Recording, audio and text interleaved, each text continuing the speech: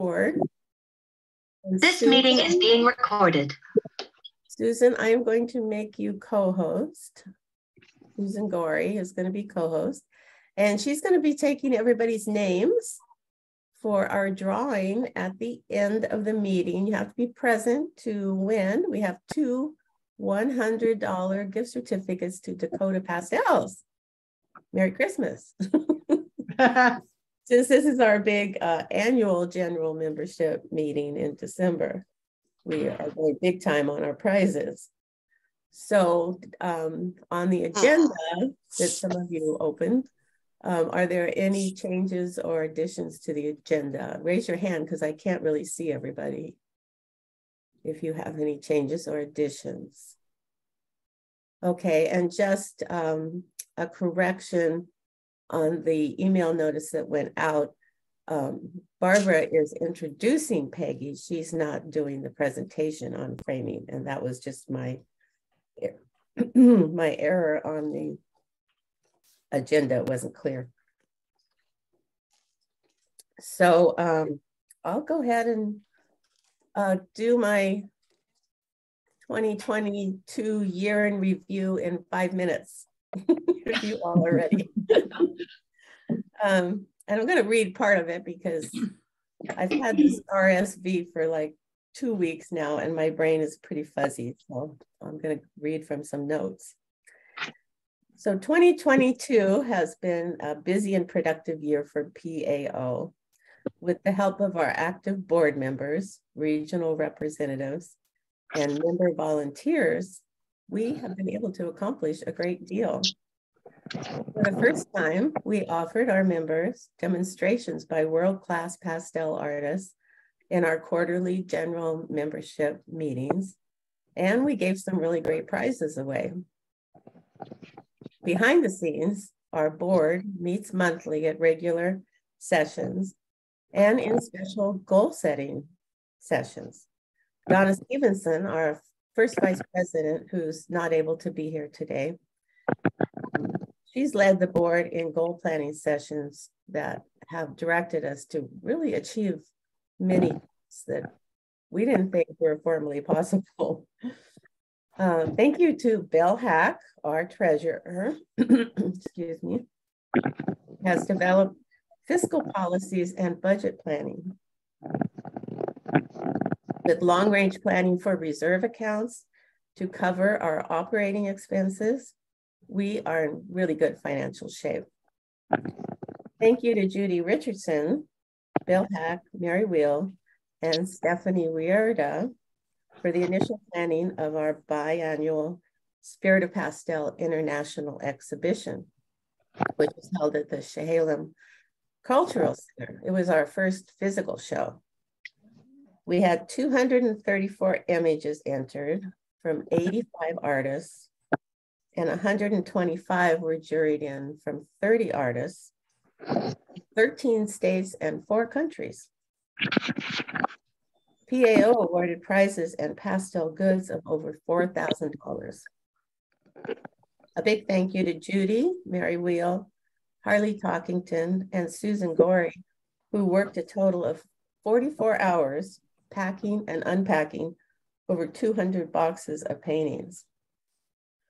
Our education chair, Barbara Sells, Gold Farm, has secured a grant to provide pastel classes to disadvantaged youth, fulfilling our goal of developing a youth outreach program. She will tell you more about this later in the meeting. We have streamlined our communications between board members by using a storage system for documents and document sharing, applying and successfully being approved for a free Google nonprofit workspace. This has proved to be a real time saver. We held our annual Paint Where You Are week-long Paint from Life event this year with a follow-up slideshow and reception with some great prizes. Feedback was really positive and members all expressed that they would like to have it twice next year. So we're thinking about maybe a winter and a, a summer one. Congratulations to Willow Balfrey, who received Master Pastelist status in PAO this year. We celebrate our members and achievements and successes this year in the pastel world. Thank you to Harley Talkington for publishing our quarterly newsletter. And he's working hard to include all the wonderful news about our members. I hope you're all enjoying that newsletter. And Susan Gorey, who helps put that together also. Uh, Susan keeps us all informed with upcoming events with her fun, engaging email posts. There's an opportunity to fill positions of social media chair, regional representatives in central and southern Oregon areas, north and south. Feel free to email me or anyone on the board and we'll provide you with more information. We have some exciting plans for 2023 and we will be announcing and plan to get you a yearly calendar so you can plan to participate and not miss any of these opportunities. Any questions about any of that? Or any comments? Okay. I'm here. There's Peggy. I don't know what I had it in my. Yeah, well, I'm not going to go into the explanation. It's not, okay, don't worry about it. It's worth our time. All right. Well, since you're here, why don't we go ahead and have Barbara introduce you, and um, I'll see if I can collect my thoughts. yeah. Barbara, why don't you go ahead and introduce Peggy while she collects herself? Sure. Uh, Peggy Braeutigam. Peggy began painting in oils and acrylics prior to pastel. She taught calligraphy and drawing for about 15 years. Dry pastels have been her primary medium ever since. And she loves to draw from life and occasionally uses oil pastels. She has been teaching weekly classes and occasional workshops at the Kirkland Art Center for over 25 years, uh, but now via Zoom. Uh, Peggy welcomes artists new to pastel to join classes. She has been represented by the Issaquah Gallery in Washington and was also employed by the gallery for over 20 years. It was there that she learned professional framing of all mediums. Welcome. Welcome. Good to have you. I had to get my coffee. Excuse me. Good morning, everybody. I'm sorry for the uh, confusion on my part, but let's get right into it. Um, maybe some of you have uh, downloaded and read the um, papers that I sent to Susan and, and Janice uh, that uh, explains my method of, uh, oh, excuse me, can everybody please mute except for Janice? Let me just ask everybody, I just uh, pinned Peggy. Do you all see just Peggy now? No. You see a big Peggy. no, she's not uh, spotlighted. Okay, let me try again because she is on my screen. Um, there for gallery, and let's go back to her. You know what? Sorry. There. I lost her. Oh, Peggy, where are you? Oh, there you are. Okay, so I have, I don't have Donna here to tell me what to do. So what should I do, Peggy, to spotlight you? Uh, I don't know. so I have uh, remove pin. Okay, so I have spotlight for everyone. I could click that when when Peggy speaks, then How about now? Yes, if you go up to view and go on speaker view, we see a big Peggy. okay, so go up to your right hand. She's upper. fine. No, she's on on big screen now. Okay, good. Yeah, good. I am. Okay, Peggy. Okay, yeah, I just don't need all the feedback that I'm getting from some of the um, microphones. Okay, I'm not, you're not gonna see me in a minute. I'm going to flip my camera down uh, to my table. This is a new experience uh, because of course, framing is done on a flat table, not on an easel. So um, you're gonna get one view and it's gonna be a piece of cardboard at the moment that um, And after that, all you're gonna see is my hands and hear my voice. So here we go. Down, down, down, down, down. Now I'm going to get this all straight. Let's see. I don't need that. I need, come on. This worked with my camera earlier. But I need to get this all square in the screen. Okay, that should, that should work just fine. Okay, so you're just seeing a piece of cardboard. Um, cardboard is something that if you're working on a table, as I am, and you don't, whoops, why did that happen? You don't want your table cut. This is bizarre. Okay, I'm gonna move my whole thing over a bit. Best laid plans, folks. I have tried this several times.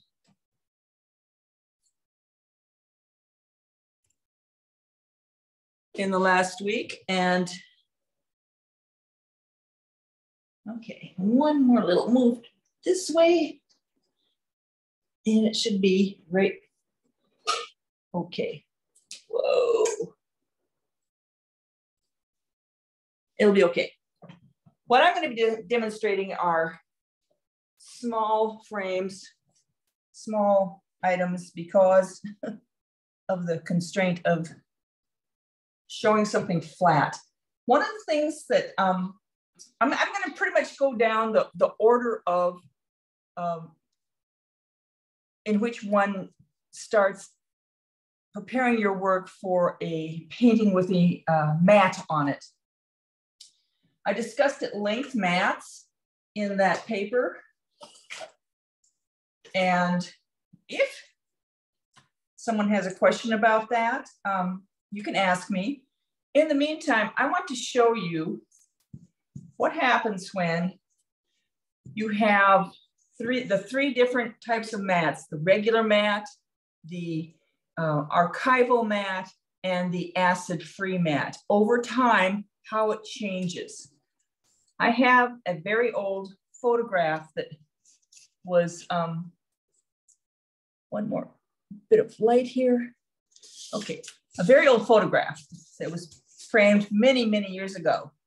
See all this yellow? That was once white. That is a regular mat, uh, foam board. And right next to it is a regular mat. The yellow, they have gases that um, emit from them, and they will eventually um, call what's it's called fringing. It will make it'll ruin your paper eventually. Now that's a regular mat board and a regular foam core. Um, this piece right here is an acid-free foam board.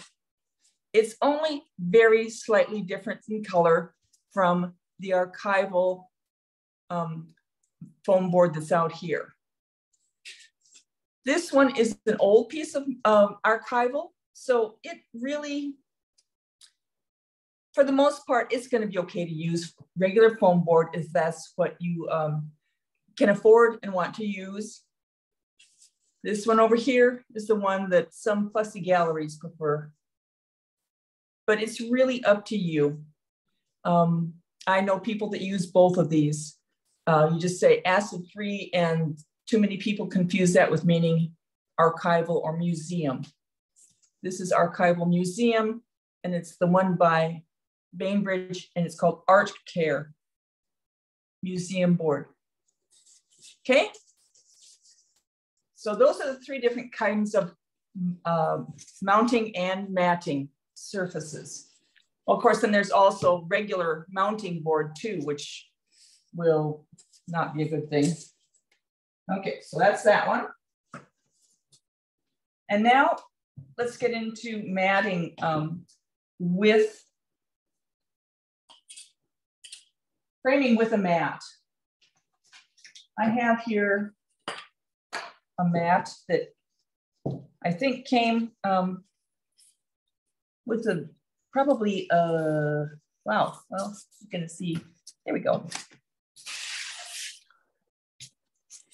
You don't need to see the whole thing but you will see the whole thing if I get this just right. Geez oh Pete how many times did I practice this? Okay. This is a regular uh, it came with a, a frame that I wanted. And so this part was separate from this part which when you're doing your own matting, you don't want that because even though they are exactly the same size, if you happen to have cut your own mats ever, you know they can slip. So we use what is called the ATG double tack applicator. And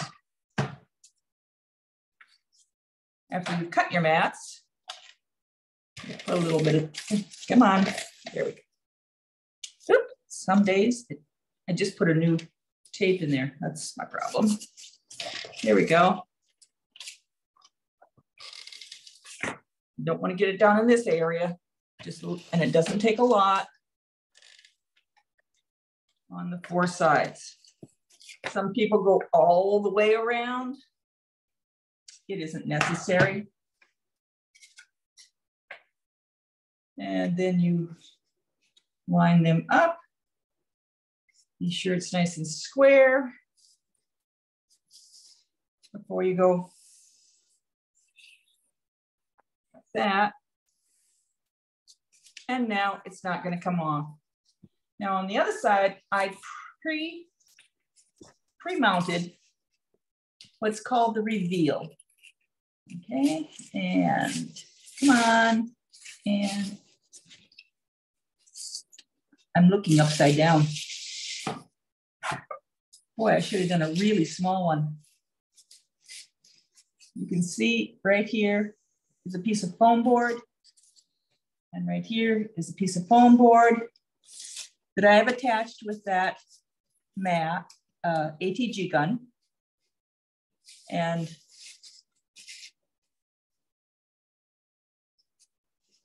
honest, Janice, I have practiced this. I'm not camera, not Zoom. Hmm. Now I know. Okay, so here's all you do is you cut your foam board um, the same size as you, got quarter of an inch smaller than your inside mat, which in this case was the blue mat.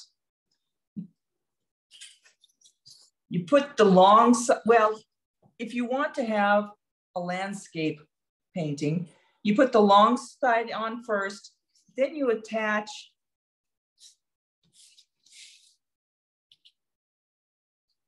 the short sides, which obviously have to be cut more narrow. So you just take ATG gun, get some tape on there, line it up with the outside edge of your mat, press it in place. And the reason for doing it this way with the, I call it the pillars. If over time, and this is a big if, it comes apart at the top or bottom, it helps, these help keep it in place. So I'm now I'm gonna put the tape on the other one. And I'll show you how I finish off. Oh. And if these two pieces don't quite meet, it's okay because, whoa, okay. If you press too hard, make sure it's actually on there because sometimes it's just enough over an edge that if your frame isn't an honest eighth inch allowance in it, um, it won't go in the frame. Now we'll use some of the artist tape two, which is acid free and very sticky.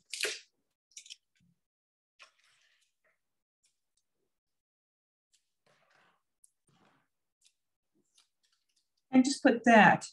Oops, I got it too long.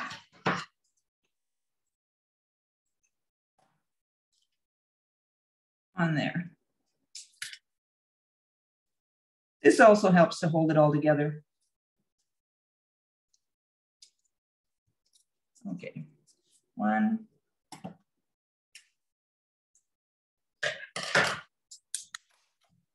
Please.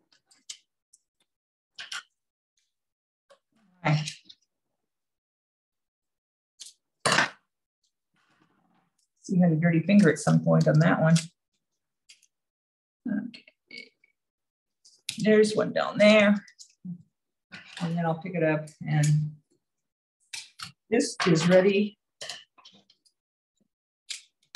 to go over a painting. Last side.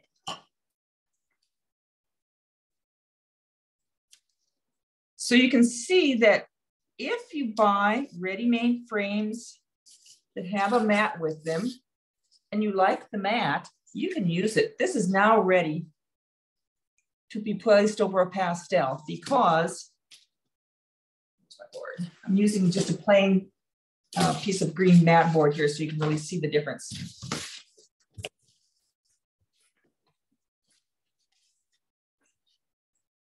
Let's see. And within there is a little lip that any dust can fall on. Okay, so that is framing with a mat that is a wooden, uh, wooden paper mat.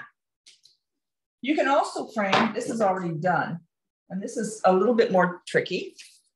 This is a silk mat that has been um, mounted over bevel cut foam board. In this case, it's the 3 16 foam board. This is an old, old, old gouache that I did. Um, it can be very um, effective on some paintings, especially if you use white linen. This happened to, this is this was one I wanted to keep just because I don't do gouache very often. And so um, it was in our home in oh, Issaquah. But yeah, um, linen mats are fun to do. In fact, um, I would, I gave, if you have a really old a pastel journal, Deborah Secor wrote an article about um, matting and uh, she knew that I did this. And so I have a piece that's featured in that one. You can also um, wrap it just around um, a piece of mat board that's been bevel cut and have a nice appearance too. But finding the right fabric can be any kind of fabric you want. So there isn't a problem finding fabric. So that's matting um, uh, or how to prepare your mat for framing. Unless you have uh, or have done your own mats and been really happy with them, um, it's easiest to just buy them from any number of places that um, you haven't received the paper yet, but I did another really long research into the resources for framing and so things like this ATG gun and the next things that I'm going to show you, uh, I've researched three different places. There's probably more. Uh, Amazon, Dick Blick, and um, Jerry's Artorama. And the prices there are present day rounded to the nearest dollar. Um, and so you have some idea of what this is going to be uh, as an expense for you. Now, the next thing I'm going to do is actually, where to go? Um, here it is. Show you how to frame no, without a mat in two different ways. In this case, make my 10, it should show up.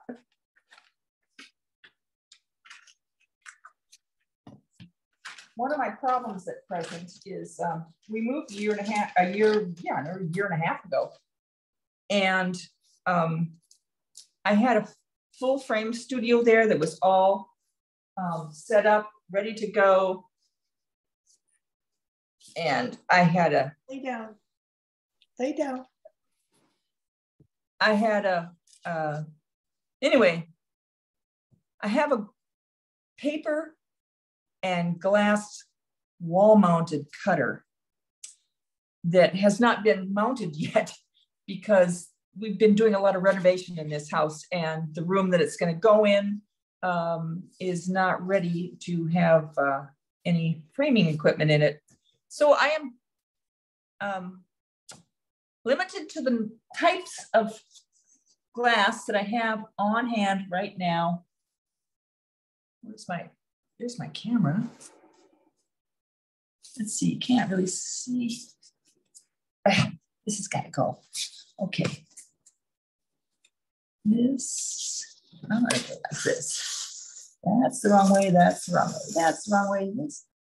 Oh, there we go. Whoa. And there we go. Huh. Okay. So you can see this small little painting.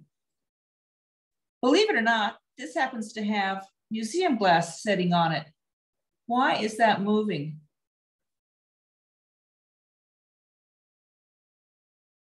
I haven't moved anything, Janice. Why did that move? That's weird. Ghosts. I know. I, am not touching it. Honest, I'm not touching it. That's weird. It's fine. Look at that. There's no, there's not a breeze here. Huh. There, that's okay. good. Yeah, ghost. Uh, I'm not touching it. See, here's my hands over here. okay, I have never had this happen before. And I do Zoom classes all the time, vertically. Okay, anyway, right now I have a piece of museum glass sitting on top of my painting. I was really lucky to be able to find it last uh, last night in amongst all my stuff, then it just happens to fit over this painting. This painting is already mounted on Art Care foam board, foam board. You can see the bright white underneath it. So here's what we're gonna do. Hopefully you'll be able to see it. Um, I like to use the white Art Care or framers two tape because it's easiest to see up against the glass. But this also comes in a um, clear color and is readily available in all the places I've mentioned. Come on, where? Okay, and now it's right there. This stuff is so sticky. It really likes to stay. Okay. And by the way, bread wrapper ties are the way I keep it from doing that.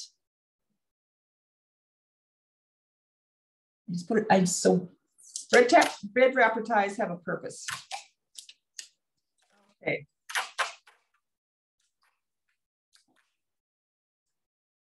Why you're going to have to stop floating. I can't do this if you're going to float.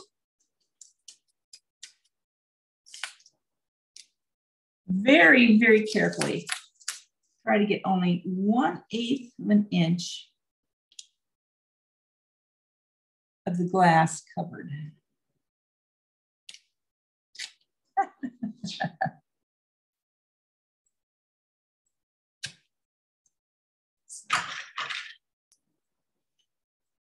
a little bit more than an eighth won't be a problem. It can be. Now here's where I recommend highly. Um, first making sure that there's, okay, uh, making sure that, um, I recommend highly working on a small piece at first because it's easy to turn this over now. Yep, you can see it. Okay, now you're gonna start in the middle, pull up tight.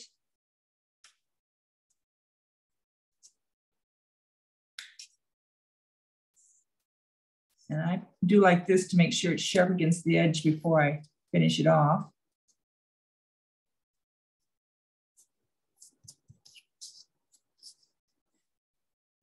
Now, some people aren't tape challenged.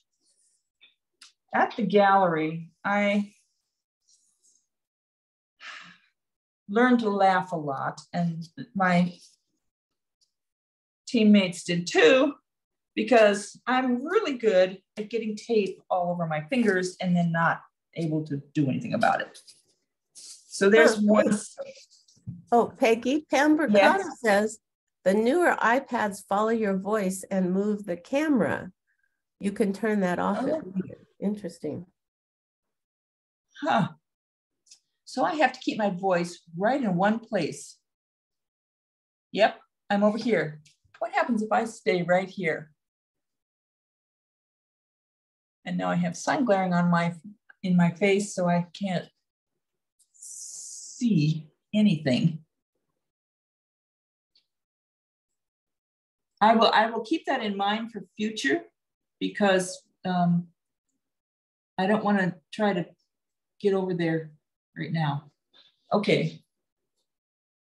So this is square to the paper, isn't it? Is Janice, is this square to the paper? Yes. Okay, it's on a cant for me. Okay, so I will just stay right here and I will talk right here and I'll work like this.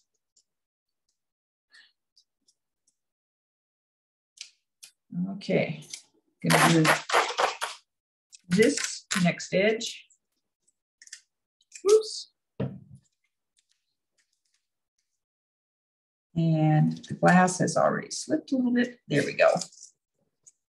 Again. Lay it down. Although most edges of frames are cover more than an eighth of an inch, there is the occasional one that just gives you a really, really skinny amount of leeway. And that's why I recommend the eighth of an inch. Too bad my old iPad bit the dust, literally.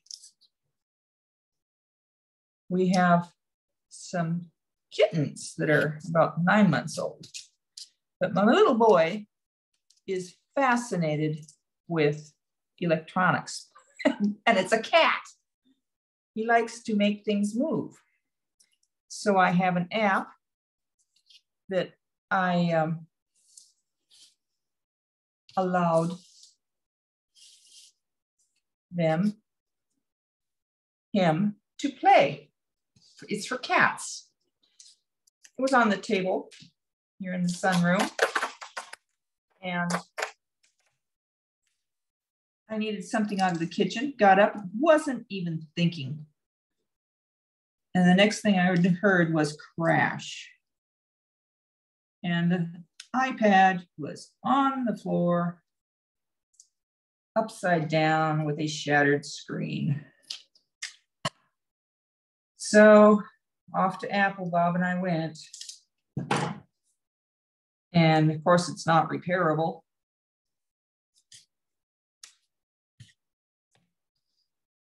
And so I have the newest, latest version of an iPad. And there's things on it that I didn't know existed. And now, thanks to Janice, I do know one more.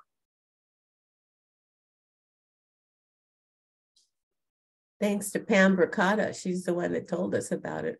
Thank you, Pandra. Jeez.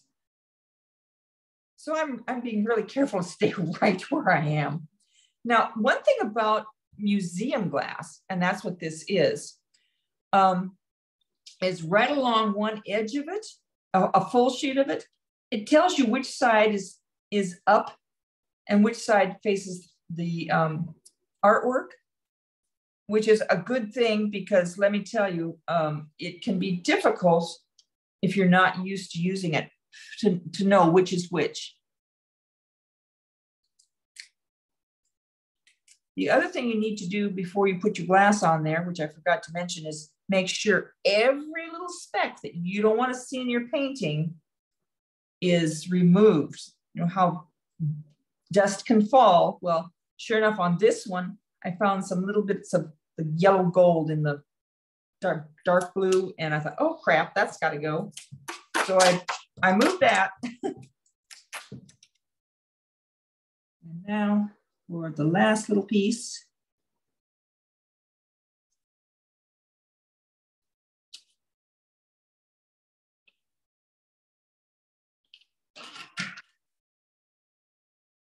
Unfortunately, I don't have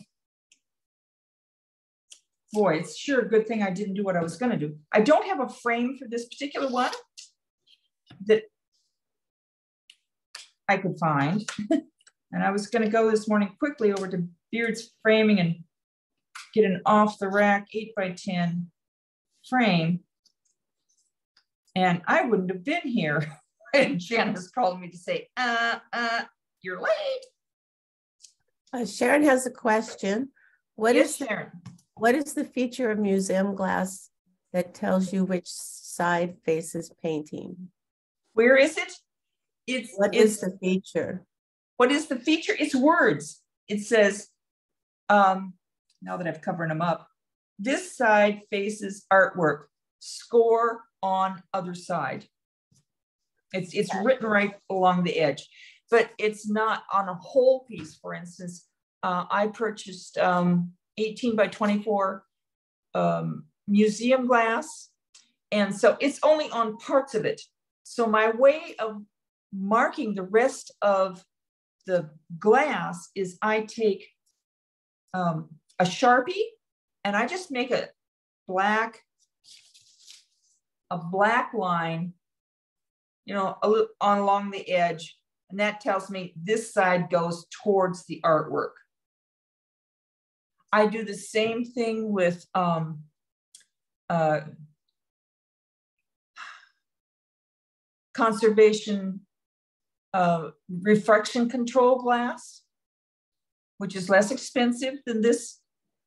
Um, I just mark it along the edge when I when the writing is gone.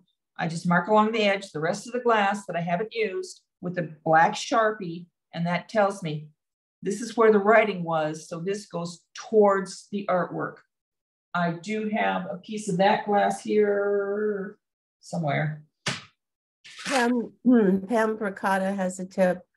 Uh, yeah. However, she says, however, make sure the frame covers the museum glass text on the edge. Well, yeah, that won't be hard because that is that is so close to the edge. I've never had the, the text show, even if I frame it in such a way that the text is at the top of the painting. I've never had a frame so narrow. In fact, it would be kind of dangerous to have that on a pastel of any size. I've never had um, I've never had that happen. The the oh here's a frame right here. Part I'm talking about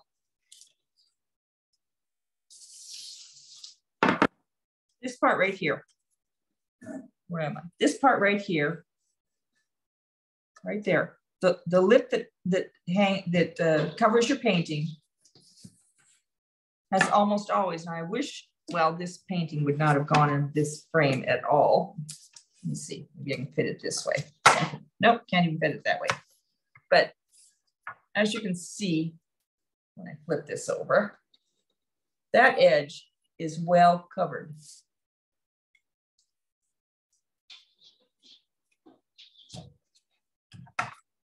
So in talking about frames now, should have had an even smaller one. Okay, the depth here, the depth is called the rabbet. That's the edge. You need to have a depth, especially if you have one that is matted with a double mat and foam board mount that is, and then you have a reveal. So you need to have a minimum, bare minimum of a half inch deep or deeper to easily get it in the frame and then be able to put the brads in to hold everything in place. Excuse me a minute. I have a dog that's scraping on my glass and it's not a good thing for the glass. I'm gonna get my husband to get him out of there.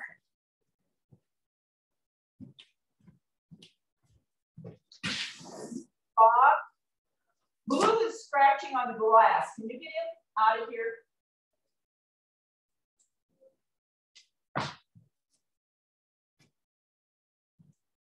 He doesn't want out. He just wants to come see me. No. I don't need a doggy assistant. Okay, come here. Oh, chair. So one of the things to really think about is how deep this is and how are you going to frame it. The next thing I'm going to show you is how to use something that's not this wrapped method, like this, this sandwich little piece. I'm going to show you how to use pieces of FrameTek product. One is called Channel Spacer, and one is called Econo Spacer. Yeah, both of these. Nope. Yep. Okay. And where'd that piece of glass go? Oh, it's right up here.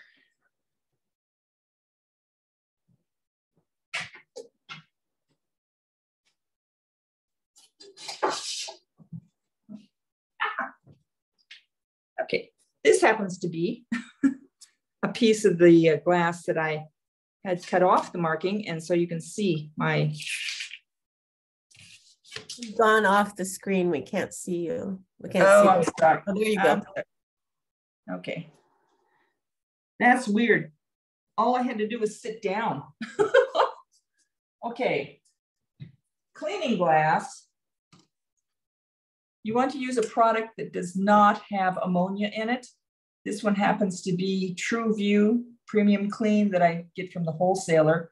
But any uh, uh, glass cleaner that doesn't have ammonia, um, this is ammonia free, soap free.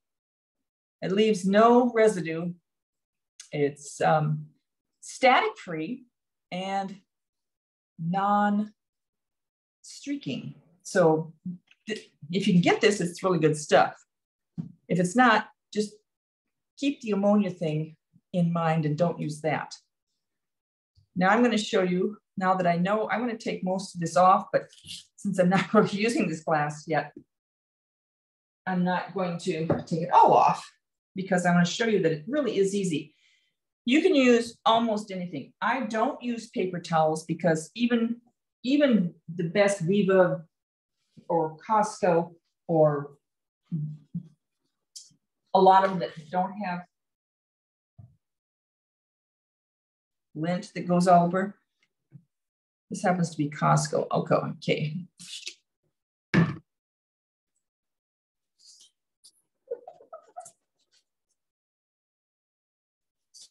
I working on the right side? Yeah. Okay.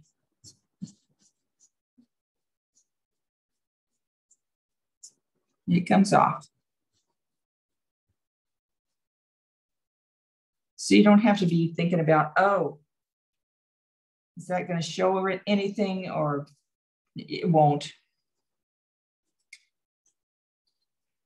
As long as you keep it close to the edge, it can even wiggle. But if you if you have a dry towel, it doesn't take it off. So you want to make sure your glass is incredibly clean before you ever put it on anything. Now this one, as I said, is a piece of museum glass, but I think when I hold it up like this, on this side, which is the side that's on the front, I think I might have seen a scratch. And scratching is the downside of true one that's called the uh, museum glass. It does scratch rather easily. Oh, no, it was not scratched. That's good. Okay, if I was framing this, I would be really super fussy because I see a thumbprint up here, which can be avoided by wearing white gloves.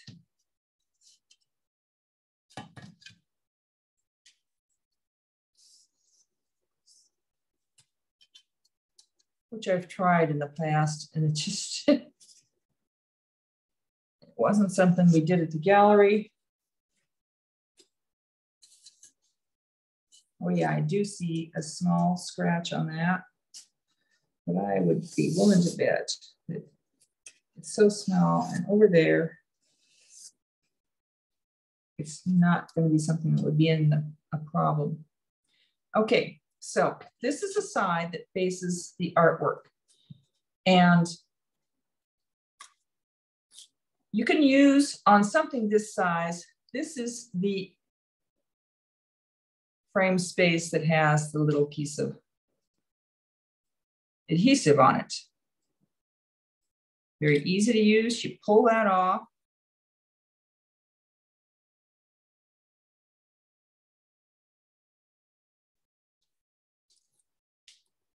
And you put it on. Now, this piece is, um, I'm just gonna put it on like that. And you just press down and it's in. You want to cut it to size first. It's really easy to cut. That, I will do that right now. With a mat knife. This is the X-Acto knife that I recommend. And why the X-Acto brand? Only because I've used them forever and they have, they just, they last very, very, very, very long. You just twist that, pull that out, and replace the blade. Then screw it down in tight, and you're good to go again. When the gallery closed after 25 years in business, and I bought all of the equipment. Now, can you see where in, Janice, can you see where I've placed the knife? Yes. Okay, you just score. Well, we could see it, but now it disappeared again. Oh, can you see it now? No. Um, where do I have to move, right or left? Um, Because I'm holding still. I need to move my left and forward. Keep going. There. That's good. Okay. There. Okay, hold still, Peggy. Don't move. Okay, so you just score it right. Ooh, squeaky squeak, right there. Then it snaps that easily.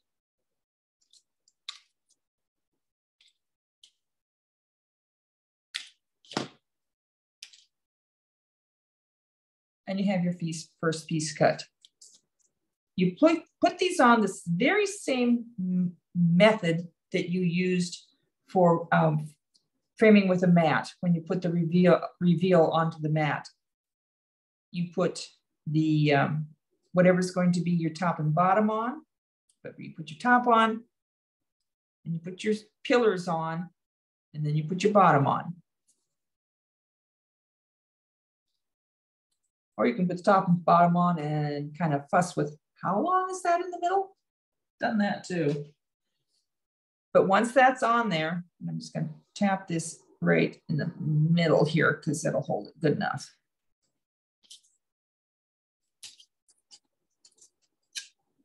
Now you have a space so that your painting does not touch the glass. Come here, somebody. Come here. This won't touch the glass. It'll sit on there right like that.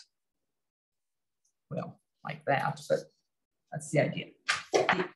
This, this is a, a an economical, because it's um, easy way to do this method. However, even graphics, uh,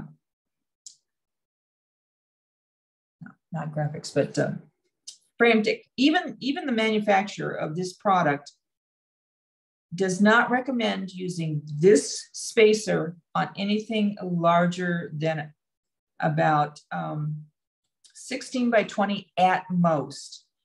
I personally only do things that are up to about 11 by 14. The reason, and even they admit, they use the best glue possible, but all glues eventually begin to dry out, and you really don't want this to slip. Okay, and once you've touched it all the way across, it can be really hard to remove. Let's see if I can even, yeah, I got it. Okay. The one I use more frequently is this, it's called oh dear, a cat chewed that in. it's called uh, the um, channel spacer, and it, it, I know you can't see it until I do it. It has a channel on this side and a channel on this side. And each one of them, this is um, about an eighth of an inch. If I use this side down, and if I use the other side, is ever so much skinnier, just ever so slightly less than an eighth. I just make sure I use both sides the same whenever I put it on. It isn't difficult. This is easily cut. You can use a mat knife, but it's also really easy to use a garden shears and just snip it right there, either way. So in this case, let's see if I can do this. Can you see the edge of the glass, Janice? Yes. Good. Okay.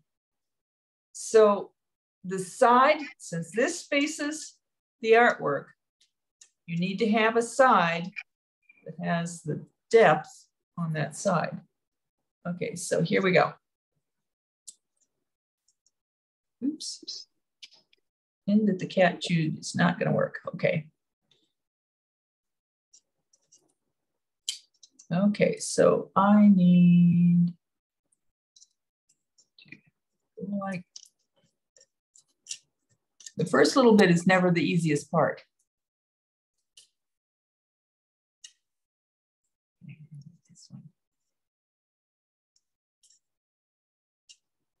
Okay, Kat, what did you do? Let me figure this out. Does need to go like this. Oh boy. Okay, I'm going to show you how to cut this first, I think. Hmm. My scissors? I think scissors also think about it. Mm, scissors. Here they are. Okay. Pops right off.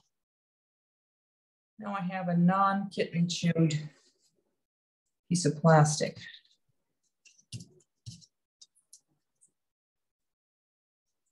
And okay.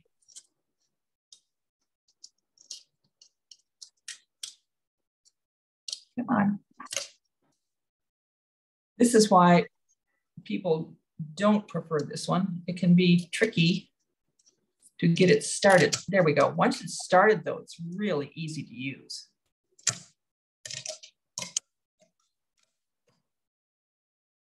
And now I have a ledge right on this side, which is where the painting is going to be, but it is smooth to the glass on the outside. Generally speaking, I cut these um, ahead of time and it really doesn't matter which one you can go just right around the edges if you want to to get them on. The last one will be your trickiest because you're going to be working against, uh, in this case, let's say it's on this side, you have, this is gonna be the last side you do. You have to measure from here where the um, plastic is down to the bottom where the plastic is across the bottom of it. And then slide it in.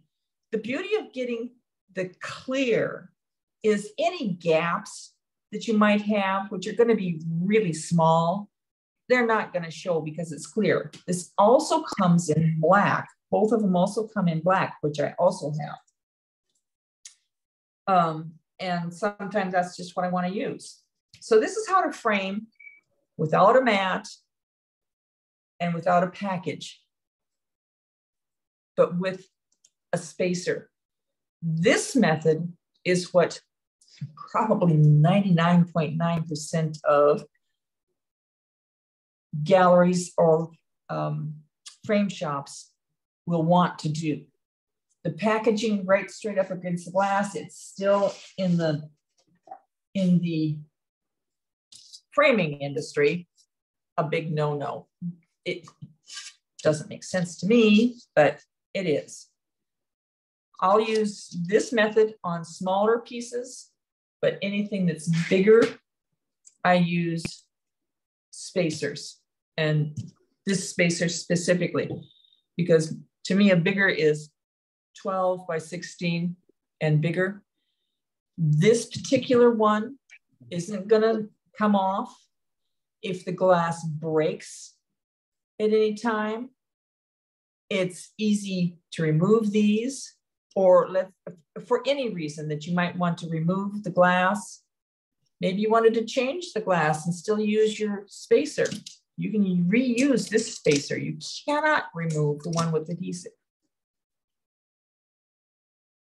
So that's the three methods that I know of of framing pastels, one with mats that have a reveal, one that are in a package right up flat against the painting, and one with a spacer where it isn't right against the painting. Put this in here like this. No, it's got a double, but it works. Either one, any one of them works. It's whatever you want to do.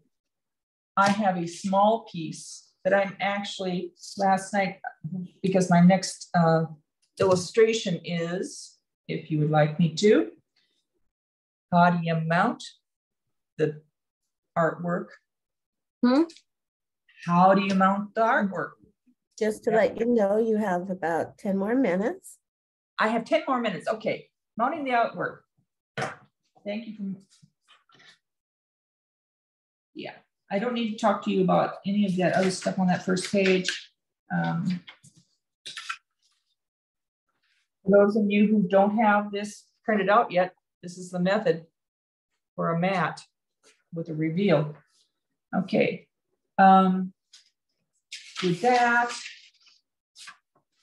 okay, so now we're gonna quickly um,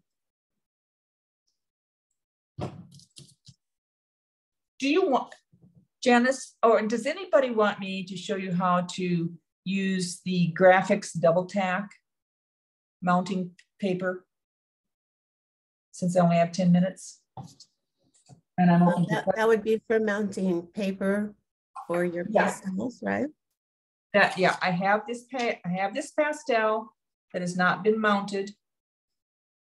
And I have double tack paper and I have, um,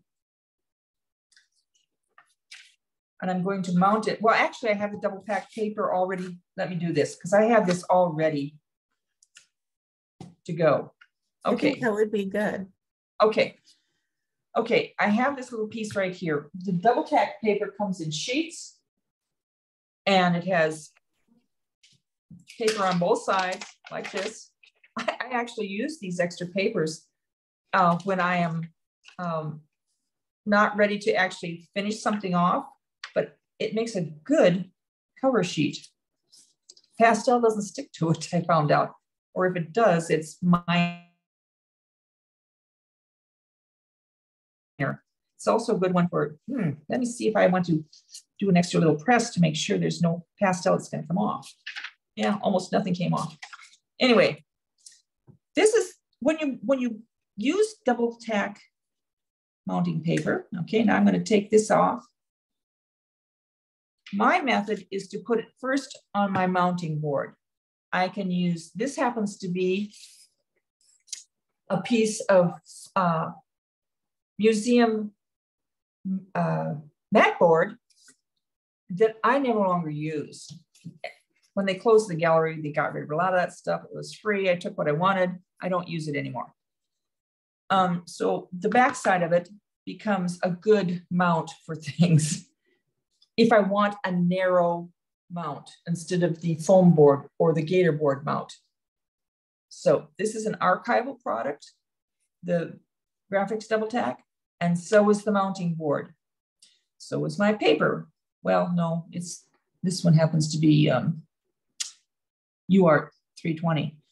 But anyway, I recommend cutting your mounting board, whatever it is, about two inches bigger than what you're going to put on it because sometimes it can be a real challenge when you have a bigger painting to get it carefully lined up with an edge. I'm pretending that this edge right here in that I've done in, in pencil is a piece of mounting board that I cut to size. If you have a really big piece and it tends to want to kind of bow somewhere, as you're putting it down, it can be a challenge to get it on there squarely. So if you cut your mounting board a lot bigger by about two inches all the way around, if it's not square on there, it's no big deal to then trim it square. So, but in this case, it just goes on like that. Now you take this and lay that on there. Whoops. Now for, I have a brayer that I will roll over a lot. I also have a rolling pin for smaller pieces, but this one's really small. And I can use enough pressure to get that on there. And then last night after, here's another thing though, why this is so much bigger. After I got this all said and done, I thought this is really a small painting. I bet this might be one that I would like to actually cut a mat because I still do have some um, just off-white mat board that looks like linen, that is archival, that is museum. And once I get my mat cutter back, which is still in my husband's workshop. We won't go into that, and he can't hear me. um, anyway, when that comes back, then I can finish this off because it is now securely on there. It's not going anywhere. And Another thing I didn't write about is these nice white erasers, really white erasers, work really good for things like this.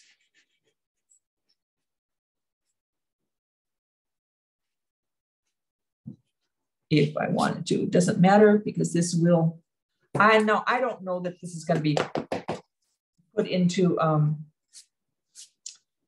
a 12 by 12 because that's what this whiteboard is frame but I have it measured in such a way that if I want to have it in a 12 by 12, um, I have it, so there's more at the bottom than there is at the top. This is one of my rulers. My poor little, very ancient T-square doesn't have much of a square anymore. This thing is older than dirt, just like me. and it's finally broken off so much that I, when preparing for this, I ordered two of these, 112 and 118 inches from Amazon, which will be here next weekend. Why it's taking longer than most things, I don't know. But that's three inches.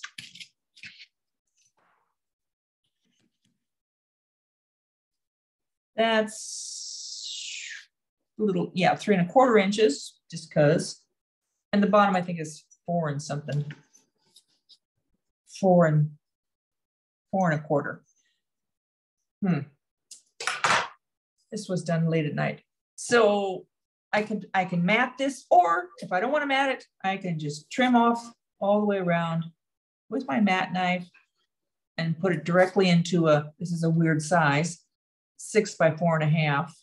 It was a quarter sheet of nine by 12 that I did in Laura Pollock's um, workshop, which was a lot of fun. Maybe you have about five more minutes. Okay, so let, let, I have no more to present here that I can think of. Um, I didn't, oh, I do too, um, but I'm just gonna show them to you. I don't have to shoot these things, I don't have to. This is um, the infamous finger pincher. Get, get your fingers in the way. Here. Here's a frame. Okay, everything is in there and I need to secure everything in there. Okay, you put this in here and you, okay, my, my? If you buy this, it is made in such a way that it will hold the brads, but it also has a dip here that holds, I mean the pointers, the, the metal points. It'll hold them and that's what they recommend that, eh, that, that they want to sell you. But they're a little bit spendy. And these wire brads work very well for two reasons. One, it's right in there and it's magnetic, so it's not going to fall out. So you put this on here, but that's too close. So now, come on, doing this at an awkward angle doesn't help. You put it in there and you get it so that it, the brad just about touches this edge. And you screw this down. Ooh, boy, did I get that loose. Okay, now here we go. And now you can go, come on, why are we not working today? Because I didn't tighten this. And you do want it, you do want it square with the whole thing. Okay, that's where I wanted it. That's where you're going.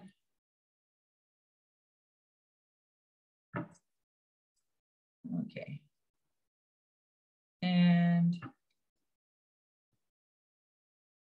I'm going to hold it because it doesn't have anything under it to hold when you have everything in there, you just press on the handle and this goes in a lot further, obviously a lot further.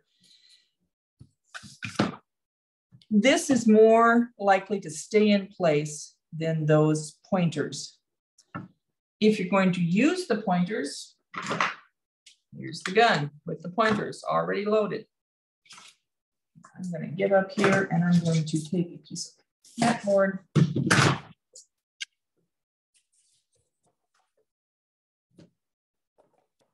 Okay, and you just, you have that in place. This is fast. This is soft wood. This is probably gonna stay in place, but can I winkle it loose? No. If you have a harder wood, these don't always like to go in. The brads aren't happy about it, but you can get a brad in a lot deeper than you can the pointer. Ah, I just wanted, there you go. And it's, it's not going anywhere. What I do when I'm finished though, is I will take, I'm gonna use the black tape because you'll be able to see it. I cover these with tape. So if they ever do come loose, they're not going to be rattling around in the back of your painting. I use this black tape for things like this, where I just want something that's going to hold things in place but not be too tacky. That's why I like this tape. Had I used this, I'd have torn that paper, getting it off there. Your choice. Okay, I think that does it. Um, how to, your choices of these things. Oops, let me aside. Okay. You have this attacher, this applicator. These are available at any hardware store and um, in the paper that you will receive eventually, if not already, because Susan is so super great about sending things out, um, all of this is in the resources, it's framing resources, which is this paper like that, okay? Talk about all those things. Now, do we have questions? Janice? We can open it up for questions. Does anybody have any questions for Peggy? It Couldn't have been that clear. It was very clear, Peggy. That's a great presentation. I learned some new things and I've been framing for years. oh, good. I was afraid you might be bored. Um, I have a question. Yes. Uh, have you used aluminum composite panels for mounting? No, but I've heard of them. I um I I'm not sure what the advantage would be. It's very mounting? sturdy. It never warps. Well, that's true, but I have never seen gator board warp. I, I can see it for some really, you know, oversized paintings. That would be important. Um, I, I I can't see it for smaller paintings, um, really, but that's an interesting concept. Okay. Uh, Sharon says, thank you, Peggy. It was a very clear and helpful presentation. Thank you, Sharon. Bill- Hack says, excellent. Thanks, Peggy. I tell you what, if anybody has any further questions as they come along or if they have a problem, um, I think you all have my email address. I forgot to put that. I know it's in our um, roster. So if you have the roster, you have my email address, but it's really easy. It's Peggy's Pastels. Uh, It's Peggy with an S and pastels with an S at gmail.com. Uh, I will help anybody as much as you need that I can do long distance, or maybe we just get together on Zoom and do it because I have a Zoom account myself. So um, I can do that kind of thing. Okay, I we'll just make have- sure that your email gets out. Go ahead. Where where would I purchase a one of those Brad guns? The gun, okay, that is all in the framing resources uh, paper that is coming in email to Oh, you. Um, okay. Under under here, I have. It's uh, called. This is the. Um, let's see. fr- Uh, framers. Let's see. Oh, this is under. If you, I put it down on this way. Should haves you won't regret having, and if you're feeling a bit more flush with funds, that comes under that heading. Uh, the Fletcher Frame Master Point Driver is what it's called. Now there are other brands. I have never used them. This isn't, the things you're seeing here are industry standard. Um, things that you'll find in most frame shops. Some of them have, well, I don't even know if they have any better than what these are. Um, this little guy is at Z- Amazon, it's $92. Dick Blick is 113 and Jerry's is 122. The points come separately in a package of 3,000. Amazon's are 34, Dick Blick is 30, and Jerry's is 22. This little guy is the under the you won't regret. This is Fletcher Frame Mate fitting tool. Um, Amazon doesn't have it, and I don't recommend the Logan brand of this. Um, Dick Blick is 50 and Jerry's is 48. Um, so there's about a hundred, well, 75 to $100 difference between these two things. There are times that this bigger one is uh, not going to be a safe thing to use because if you have a narrow frame, I've seen those points go right through it. Oh, Okay. Yeah. yeah, on a really, really soft wood. It was it was quite a surprise that day that happened. That was back at the gallery. That was oh crap. Gotta cut a new man frame. Sorry, Al. anyway, um, yeah, so I have the, the prices, I have where to buy of all of these, and the and these being available at your frame store. There's uh I don't remember how many are in here. It's 1.75 ounces, a lot. Yeah. And they're really inexpensive. So as a as a just starter outer person, this might be a way to go over the gun because there's the gun and here's the box of points, framers points. But Okay. they're all, but these, and, and there's different brands of this too. Um, but the one that's for the frame master is identified, its box will look right there. Like that. Okay. Thank you. Thank you, You're Peggy. welcome. We have some more uh, comments. Uh, Pam Percotta said this was so informative. Thank you so much. Linda Evans says, Peggy, you are a master of precision. Janice Rosenberg says, thanks so much. Very helpful. Jenny Lieberman says, thank you so much, Peggy. So informative. Bonnie McManus says, thanks, Peggy. Uh, Susan Gorey says, thanks, very helpful. Thanks, Peggy. And Sharon says, thank you for putting the PDF documents together. Great resource. So Peggy, thank you so much. You're It welcome. was very informative and very helpful and everyone appreciates all those documents you spent time putting together. Well, um, yeah, that, um, I'm glad to have done it. It was, it was a good thing for me to do too, because I haven't done it a long time and the information that I had already written in document form was probably 30 years old and needed to be updated. and so, Uh, um, Bithia thank you. just says, thank you so much, Peggy. Uh, could you quickly speak about attaching the dust cover? Oh, yeah, super easy. And I've got it right here.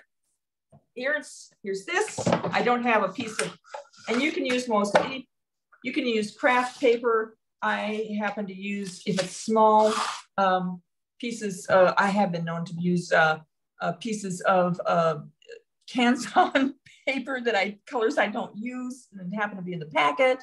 Um, you can use, if it's small also, you can uh, have a nice clean uh, uh, paper, brown paper bag. That paper is even stronger than craft paper. Um, but anyway, so here's what you do. You take double back tape, and here's where this instrument has a lot of use too.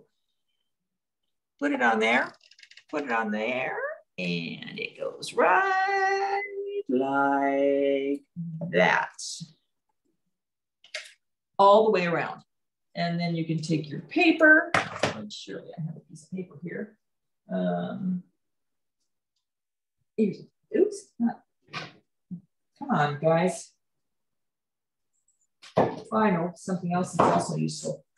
If you, oh, if you really need to have something that's a hard backing too, you can use um, foam board. I mean, this happens to be framing board, but you can get a mounting board that's really thin like this. And if, so if you want a really heavy backing for whatever reason, even that is not gonna come off. This is the expensive way to go, even if you're buying just regular mat board.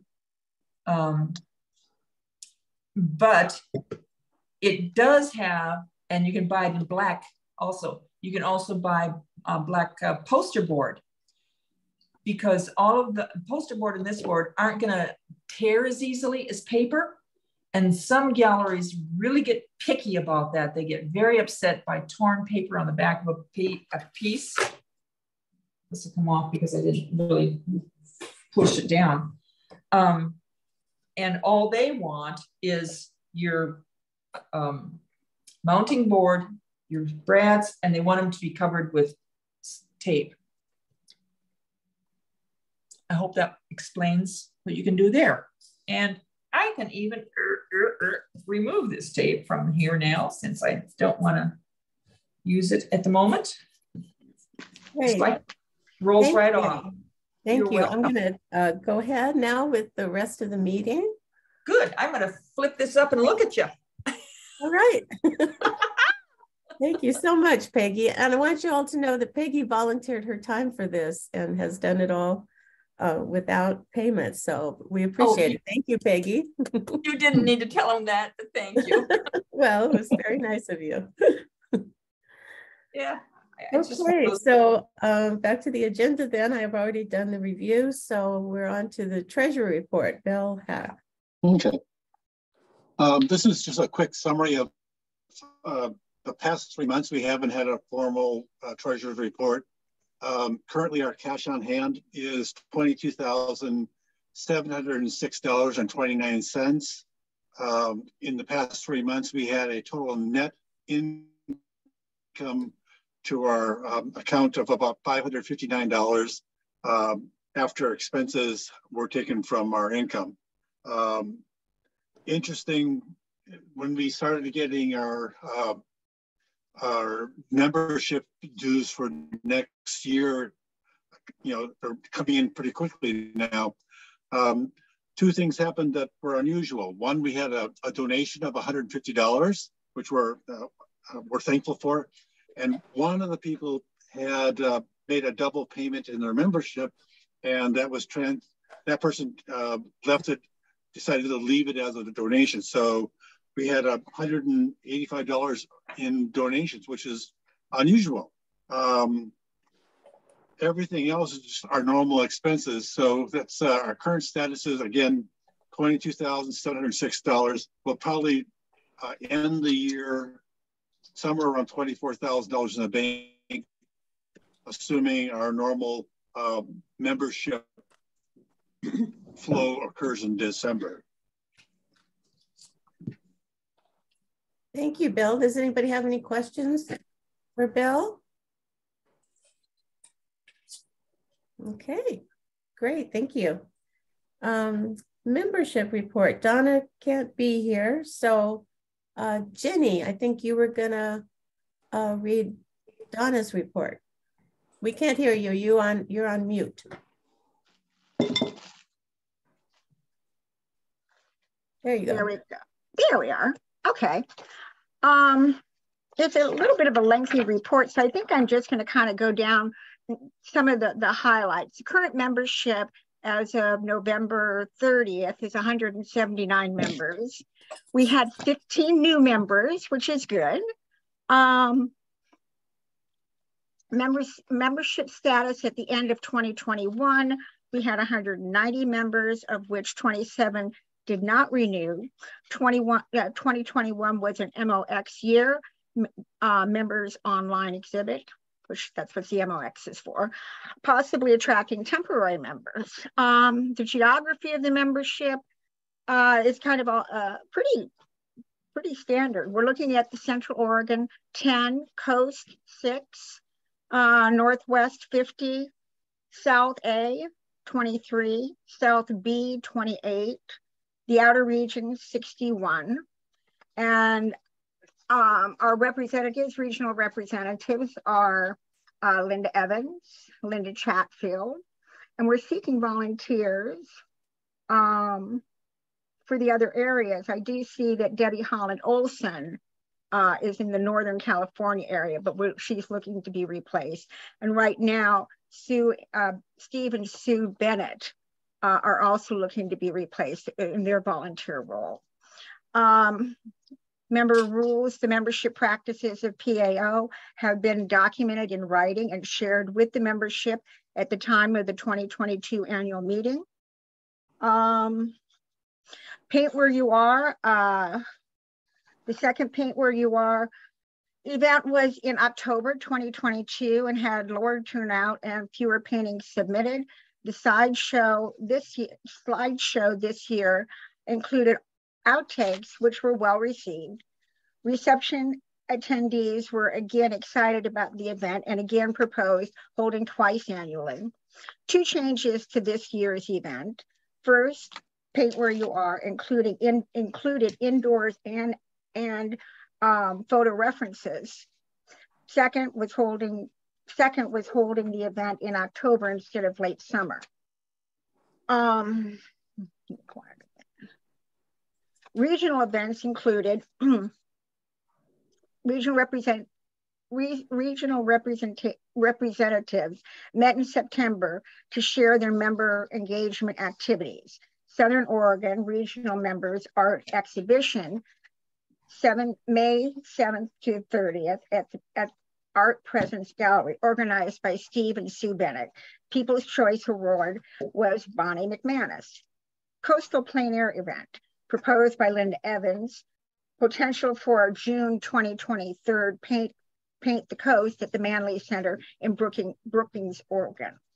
Northern California, Debbie Holland Olson proposes an open invitation invitational for all members of PAO, potential location Main Street Gallery in Old Town Weaverville, California. Willow, uh, Willow Belfry's, Willow Bel Belfry exhibits at this at this gallery and has been been well received.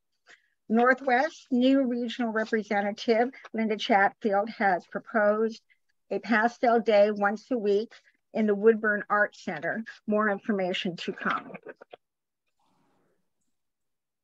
Thanks, thanks to the volunteers, Lynette Torres, outgoing, Jenny Lieberman, incoming, for volunteering to keep the member roster up to date, Janice, Janice Ellison for spearheading the Paint Where You Are promotion and creating the reception slideshow, Steve and Sue Bennett for their work on the Southern Oregon regions. And uh, that's a complete report. Thank you. Anybody have any questions or comments about that? Okay. No doubt. Yeah, see a lot going on. All right. Um, new business. Let's see. Um, volunteers for the 2024 nomination committee. Uh, we're in the midst of planning for the succession of president and second vice president. That would be my position and Judy Richardson's position for the 2024 26 term, as Judy and myself have served as founders in our positions for four years by the end of December 23. So we have a year. Um, the two positions are uh, two year terms, and any member who has been a member for at least one year is eligible to run for this office. And we'd like you to really think about um, contributing to PAO. We have uh, training, we have documents. Uh, if you come forward early enough, we can uh, provide job shadowing. And um, we've worked hard this year to get everything up on our Google Workspace. So all our documents are available. And we've done so much work on the infrastructure this, these past two years hmm. that um, it'll make your job a lot easier. So think about it. If you're interested, um, just let us know and we would love to have you. Um, the um, election, the roster of candidates will go out in October or November for you to vote on. Um, we need a nomination committee. So far, we have Harley Talkington, who has volunteered, and we need two other members. And the nomination committee will be seeking um, candidates for the nomination. And right now, president and second vice president are open and um, not sure about secretary yet. I haven't haven't heard yet if um, our secretary plans on continuing. So um, think about it. We we'd really like to have you. Let's see, and then next is our um, announcement about youth outreach classes, and that's um, Barbara Goldfarb. And right after that, she's going to talk about the Lorenzo Chavez workshop. Barbara? Okay, great. Yeah, I'm really excited. We put in an application. I worked closely with Janae Elder, who is in the um, in, in the uh, Southern Oregon uh, region. And she's going to be uh, the instructor. And uh, our mm-hmm. intention was to outreach to kids at risk. And we have um, several programs uh, spread out through the area. We have uh, homeless families, Maslow Project, we have Life Art, we have um, Rogue Mentoring. So we have a lot of connections, and uh, we'd like to um, offer the workshop as one series of five workshops. It's expressive portraiture in pastel. Um, the grants from the Haynes Foundation were, um, there was a large submission, there were over 90, and just over 20 were granted. So we originally applied for $5,000 and we intended to do a series of two um, series of workshops, but we've gotten half the amount, 2,500. So we're going to reconfigure plans unless we could raise more money. We intend to do it sometime in the winter season. And uh, fortunately, we are being, um, uh, uh, we're collaborating with Central Art, uh, Central Art Supply. Ann Ebert and her husband are very interested uh, in supporting the project, and they'd love to do a third Friday exhibit as well. And, you know, in talking about how to um, bring this together, um, we also thought about offering something to members um, and the community at large to also do an adult workshop in expressive portraiture.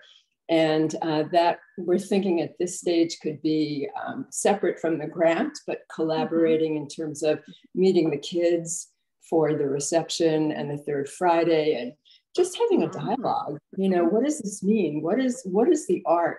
You know what's our inspiration and and what are we expressing? And they had a um, really beautiful outline for um, the purpose of each class. So she'll introduce art history uh, and portraiture and look at expressive um, paintings mark making colors light And uh, she's going to do a photo shoot where the kids will bring in objects that are meaningful to them, that convey some kind of symbolism um, in their life. And I think that's going to, you know, be an exciting kind of bonding with a group and bringing together these themes. So um, that's the stage that it's in now. And uh, let's see. Um, yeah, I think I covered everything on that. Well, thank oh, you so much for Barbara for yeah, your one, on that. Go ahead. You're welcome. One more thing that um, we wanted to ask because we are um, dealing with half the amount uh, of funding. Um, one of the largest expenditures were supplies. So if anyone has any extra pastels that they would like to donate, you know, any duplicate, oh, if anyone does, we will be so thrilled to um, to receive anything like that. Uh, it'll really help the budget go a little bit further. Um, yeah, that's great. Uh, I'm just getting a call from Central Art, Ann Ebert. Isn't that funny? Um, yeah, so that's the status of that. And uh, were there any questions? I thought I may have seen. Yeah, Ginny?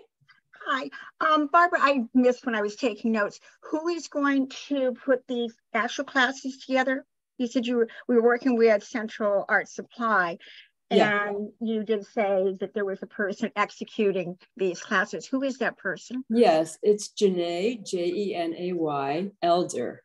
And, and yeah, and Jan actually, Jan and I, we we studied portraiture with her. She introduced me to portraiture, and she's a young um, really gifted teacher and artist. She exhibits a lot and uh, she's just delightful. I'm, oh, I'm thrilled to have her doing it. Yeah. Awesome.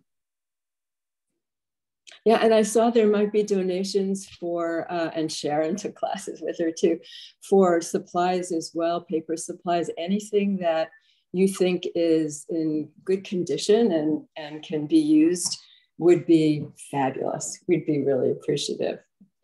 I have an almost full roll of gray Canson Mi-Teintes, 40 by 60. Uh, yeah, I mean, six, it's 60 inches wide on a roll.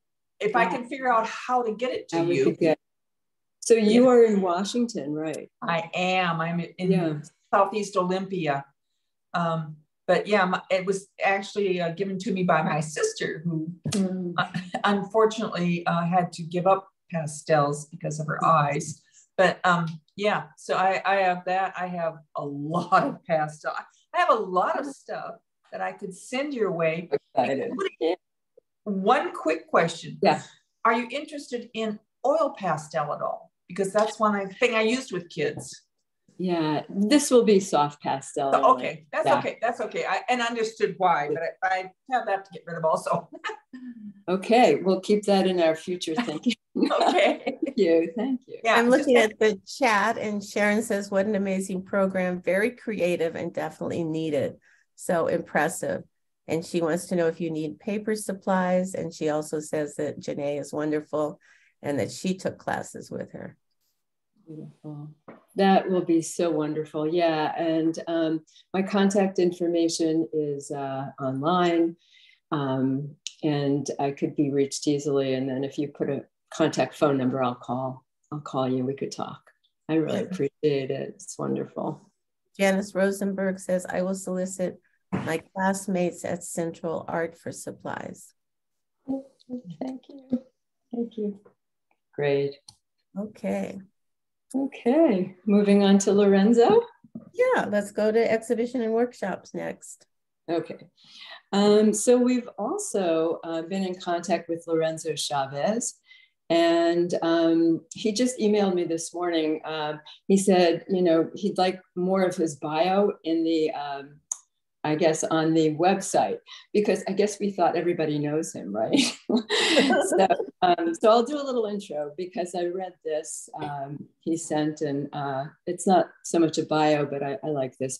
My art reflects my deep passion for the landscape of the American West. I want the emotion I feel to come through in the surface textures of the art. The colors, textures, and light of the Western landscape inspire and guide my work.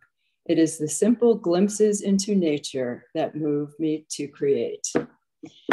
And um, he's internationally known, um, and he's known as a very generous person in terms of his um, his time and his attention, working one to one with students at their easel, and um, you know, and he will cover plein air. It's going to be a plein air workshop. It will be May 22nd, 23rd, and 24th from 9 to 4 if people are interested and flexible. He loves the dusk and dawn if that seems to be something that will um, will work during the three days that we're we're together. And it's going to be uh, again um, handled through Central Art.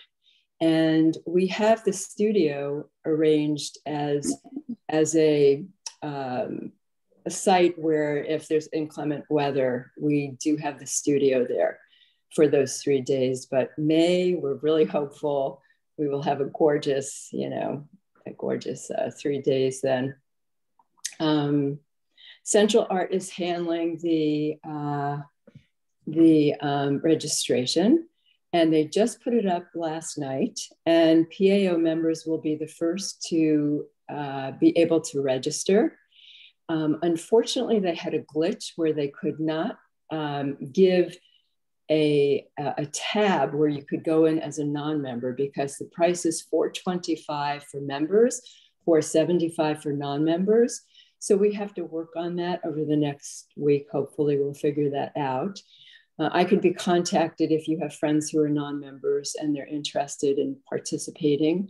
I will put their name in as the registration moves forward. It's a minimum of 12, maximum of 15. We are looking at um, potential sites, maybe a, you know, like a 20 mile radius in the Southern Oregon region down here. And um, if anyone has suggestions, uh, someone just suggested Relic Winery in Jacksonville with alpaca and ponds and views and a you know, uh, bathrooms and, uh, you know, so we're, we're looking at, uh, you know, really setting it up so that people feel and that Lorenzo feels, you know, inspired by, by the setting. I think I covered everything. Uh, oh, and centralartsupply.com. You go into centralartsupply.com and you go into classes and events. And then there's a tab on that page for Lorenzo's workshop. And you can make your payment directly uh, on the site. If there's a problem, I think Linda, you mentioned you had a problem you could um, try again. Hopefully, it will go through. Maybe call Central Art. If you know over the course, of, give it till Monday. I have your name that you are you are a participant. So um, if there's a problem after that, you could call me and let me know because I'm not directly managing the the access to the site. Okay, I think I covered everything. Um, yeah. Do people have an interest? I'm just curious in doing the adult workshop, possibly with Jenay, the portraiture. Jan, I, I am as well. Judy is raising her hand. Oh, great, great. Wish I could. Oh, no. yeah. Oh, great. I see somebody else also. Liz. Nice. Sharon Swinyard raised her hand. Oh, yay. Okay. That's really nice to hear. Uh, just to let you know, I have a lot of people emailing me trying to uh, register for Lorenzo's workshop right now. And um, I was able to register this morning. If you go to Central Art Supply and you go to classes and you find the Lorenzo um, class, you have to click on it and that takes you to the payment page. And there is a place to pay. I, mm-hmm. I don't know why people are having a problem getting to that page. Yeah. Linda, did you try this morning and have a problem? You're um, I, I didn't I, I went this morning just before our meeting here and um, I did all that and nothing came up. So I'll just try it again. Okay, yeah, because I was able to register this morning and the page was fine. So it Great. looks like it's um, filling fast. So if you want to take it, um, it's going to be only 15 spaces available and we really can't hold it. So once 15 spaces are full, um, that is going to be all we're able to do. So the only way to get into it really is to register. So I just want to let you all know that. okay. Um, any more questions or any anything about Lorenzo's workshop or Barbara's announcements? Okay. Um, that takes us to uh, the MOCS exhibition and Eve Miller. And Judy, you were here. You're still here? I am. I am. Can you hear me? Yes.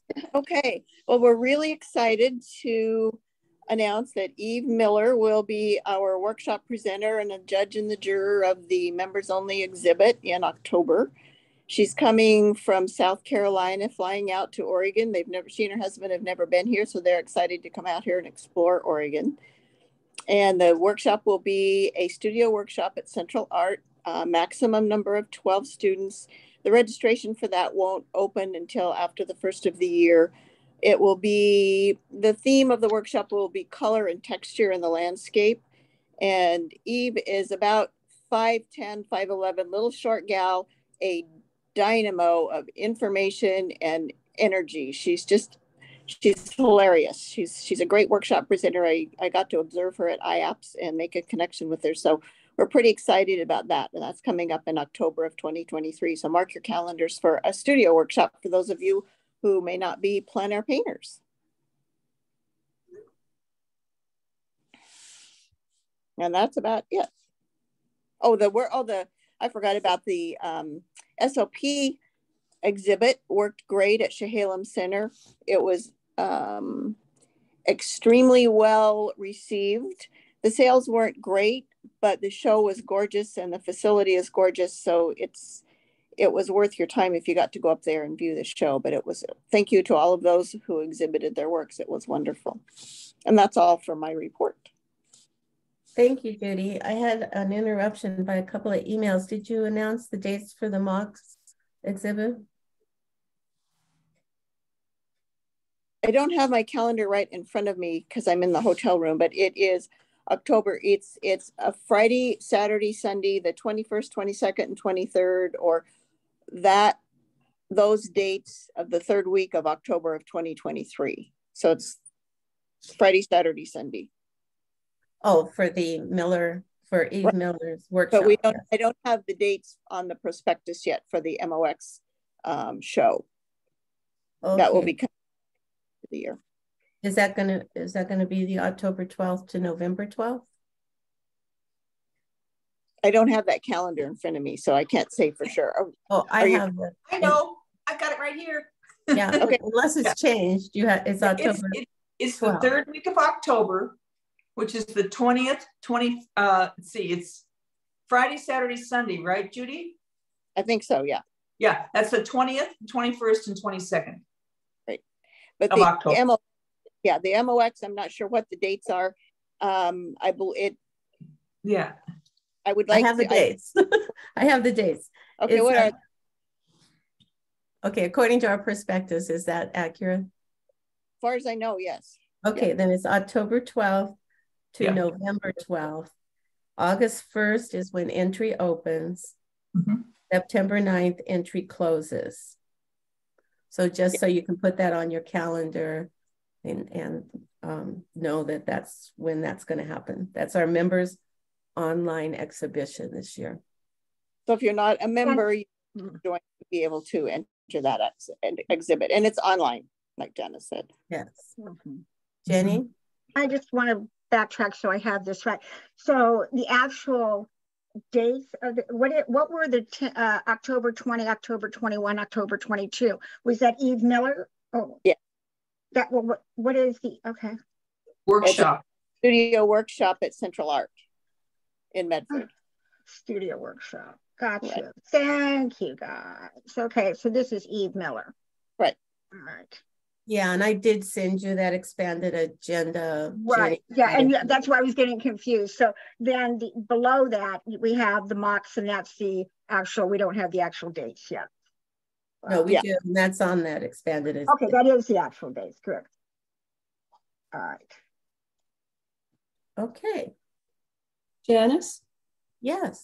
Barbara, I have one more thing that uh, I actually have a note on about Lorenzo Chavez that we actually set up a Zoom uh, workshop on a Saturday, a PAO general membership meeting. Um, in yeah, yeah, we have that. So it's March 4th. Mm-hmm. And uh, and that's something else to look forward to. Yeah. Yeah, Lorenzo will be doing a demo. It's a recorded demonstration that he'll be offering in March. So That'll be for our general membership meeting. Thank you for remembering that. So there would be okay, well, we're getting close here. Um, I don't know if Harley's here. Is he here? So I don't think Harley's here. Hmm. Uh, Susan, do you have anything about the newsletter in particular? Well, we're gathering information now and uh, it'll be coming out and we're hoping actually to get it out before Christmas this this month. So um, he's been in contact with various people, and um, so that's in the works. We're working on it right now. Great. And Susan, do you have any announcements about anything else? Um, I don't think so, really. Uh, we'll be sending another email out just to remind people of the member December uh, membership drive. And uh, so that'll come out on Monday um, to take advantage of the $35 fee. Um, and then we'll, you know, we'll begin to look at uh, promoting uh, uh, Lorenzo's workshop and, and so forth. Um, so it would be good if we could get that information that Barbara had on Lorenzo so that we can use that for our emails and uh, in the future. Great, we'll get that to you. I think that's about it. Okay. Anybody have any questions? Um, I, I think there may be a problem on the site. Linda, you said you couldn't sign up for Lorenzo Chavez workshop, right? Yeah, there I couldn't find any kind of link to get to the application and pay the fee. But well, that, that was this morning before our meeting. No, but I was just trying to see if I could figure out if there was an issue, and there seems to be because I can get up the um, up to the where I I have it in in the um, in in the uh, what do you call it? Sorry, guys, in the uh, huh. events and classes. Uh, no, the announcement is there, and then I've got up to proceed to checkout, and I when you, when you hit proceed to checkout, it doesn't take you to a checkout page. It takes you back to uh, Central Art homepage, and I've done it four times. You know, it might be that they're getting quite a number of people trying. Yeah, I'm doing it right now, and it brought me to checkout. Yeah, but put on hit checkout and see what happens. Well, after I place my credit card, I am on the page where I can put my credit card in. No, that never came up for me. Yeah. What are you working on? I'm on an iPad. You're not doing it on a phone, are you? no, I'm on my computer. Computer. Um, yeah, so I thought yeah. view. Lona said she just signed up. Rick Bonetti just signed up. I think I did just, it looks like I did. Just yeah, I think up. just uh, try again, Sharon. Hmm. I think All a lot of people are signing up, so it might be that you're just getting um, Yeah. clogged with other people signing up. Mhm. Okay. Hmm. Well, I'm just clicking on everything and it won't take me to the page. Go back in again. Try to go back in again. Okay, well, I thought I thought maybe I discovered a, a major problem. If it's just me, I'll keep trying. Yeah.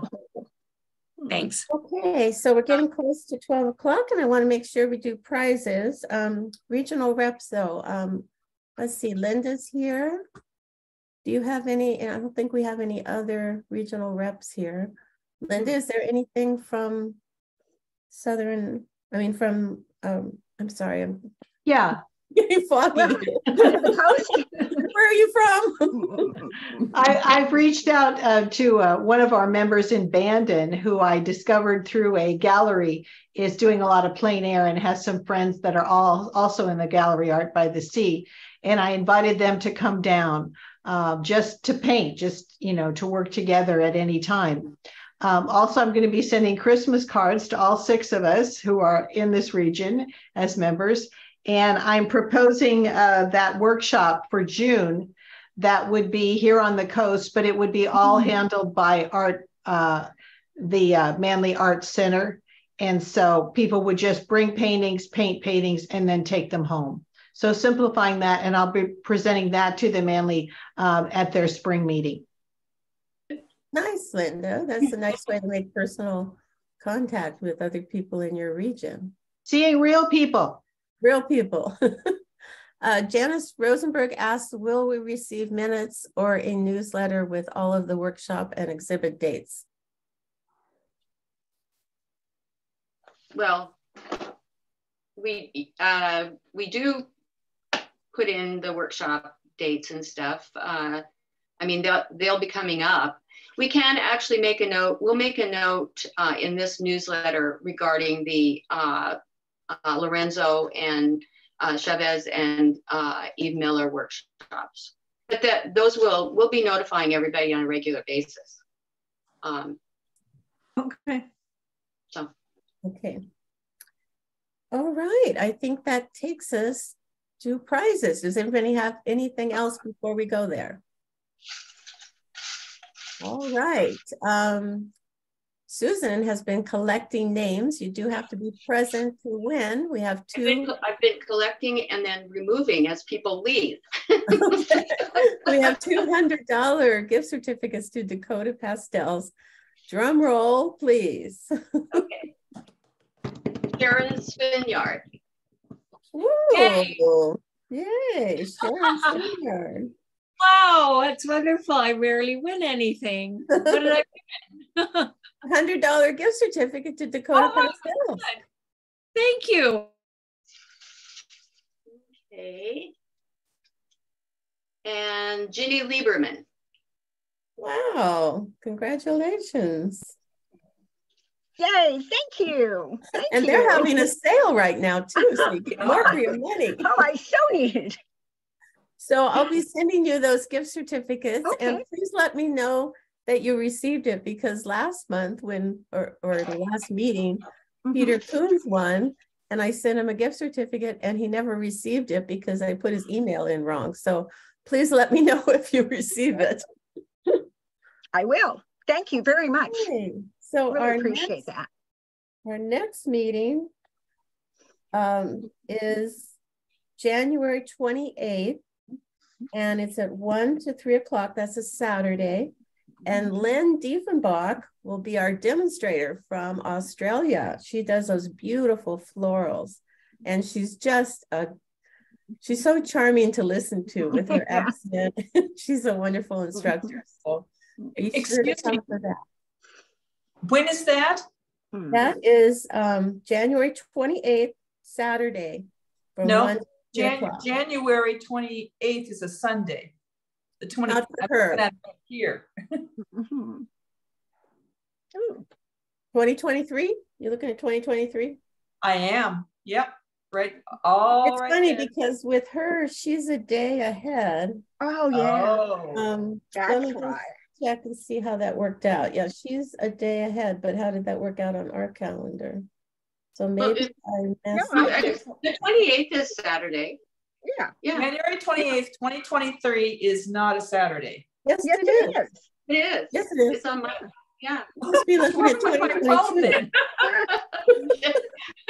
honest, honest guys, look. It's your new ah. iPad. Well, this is my cell phone. Yeah, that's bizarre. Maybe your cat licked it. Okay, folks. Thank you so much for spending your Saturday morning with us. I look forward to it whenever it is. All right, we'll send all those notices out. Thank you all. Bye. Thank you, Janice. Janice. Bye. Thank you. Bye. Thank you all. Okay. Thank you. I'm so excited about my Thank pride. you. Me too. Oh, Thank Oh my gosh, I'm excited. To make sure I do I found the problem. It's the What? header on this. It has 2023 in two places. That was actually 2024 Weird. Oh, and and Peggy. On my on my tell iPhone. I have to tell you that it's partially my fault that you thought it was a twelve forty-five because I didn't notice that you put that in your last email.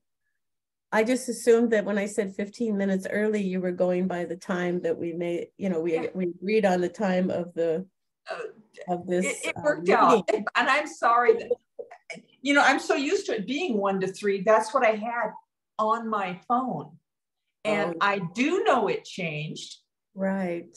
because that's what's been all in the newsletter. But it just went right over my head. Right. So my partial fault for not noticing when you said that you would see me at twelve forty-five. Well, we will, but that wasn't what we planned on. Yeah. And I'm so glad that you that uh, I know we have to just leave the my I either have to change my iPad when I do this in the future, uh, probably for even for class. Although nobody had trouble last week, but it doesn't matter. It was stationary and it was you know vertical, and this Yeah. you know horizontal thing was yeah. We learned I've- something new about by following your voice. Yes, yeah, I, that that's okay if you're a speaker and are just being there, or if you have to walk across the stage.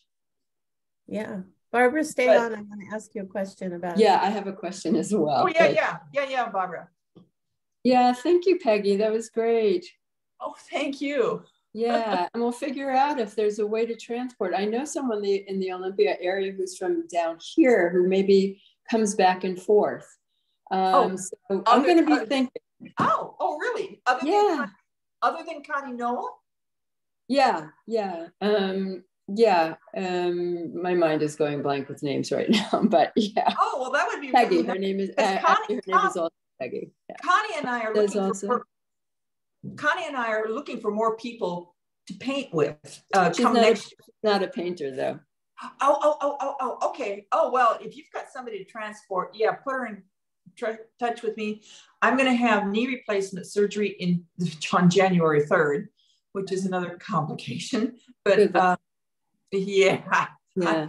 I've had a hip replacement and I understand that was a picnic compared to what this is going to be. And it was no picnic. so I've heard really good post-surgery talks from people. So I hope yours does as well. Well, I'm very confident in my uh, uh, surgeon. Um, it's not here in Olympia. I'm going back to King County where I have all my people that, yeah. anyway, another whole story. So yes, thank you. Thank you very much. I'm glad that this demonstration worked out. Um, I felt a little bit discombobulated it was really good, Peggy. I think it was really valuable and we yeah. got great feedback. I think it was good. It was very yeah. clear. I'm glad I'm glad for. Fortunately, I just went by old memory of what do you do when I'm in the frame shop, you know, back in the professional frame shop. What order did we do things? And yeah. that's, you know, um, what helped me today. Because you know I can get offline or off off, off You did great. okay. So I have a feeling that uh, Central Art Supply is blowing up with uh, people trying to register for the class. Oh, I, that's great. And I, if I could have put a word in edgewise, I would have said, "Don't miss it," because right. I've taken three of them from him. I've seen every demonstration he's done at at um, IAPS I, my husband and I have both been to his home when we were visiting Colorado and, and family.